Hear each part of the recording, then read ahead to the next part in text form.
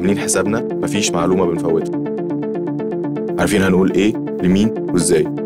بالمعلومات والخبرة الصح هتطور مشروعك وتوصله لمرحلة الاستثمار.